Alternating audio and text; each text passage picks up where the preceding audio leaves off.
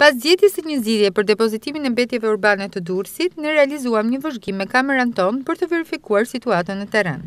Kur kanë kaluar vetëm dy ditë nga marrëveshja e publikuar, gjendja në qytet vijon të jetë e njëjtë. Në një nga lagjet kryesore, kazanët e mbeturinave mëngjesin e kësaj të enjteje ishin të tejmbushur. Disa prej tyre gjenden në afërsi të institucioneve të rëndësishëm në nivel vendor dhe rajonal.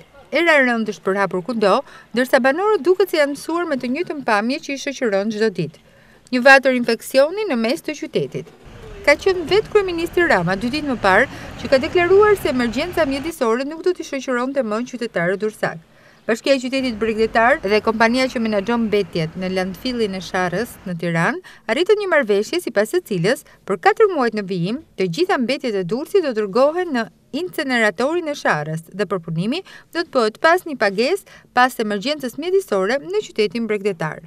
Kjo periudhë mendohet se është e mjaftueshme për institucionin e qeverisjes vendore për të zgjidhur problemin e krijuar nga fondet. Megjithatë, mëngjesin e sotëm, kazanët e mbeturinave ishin të tejmbushur si mirëseardhje e parë për vizitorët në këtë sezon të pazakontë turistik.